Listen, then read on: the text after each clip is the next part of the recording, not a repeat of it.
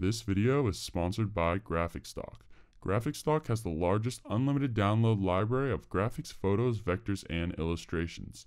Get access to unlimited downloads of over 350,000 different graphics.